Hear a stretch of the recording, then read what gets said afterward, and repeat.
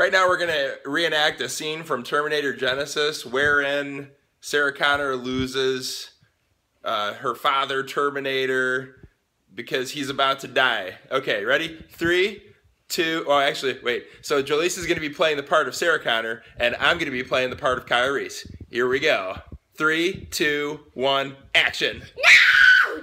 No! No! No! Sarah, it's the only way. Oh, okay.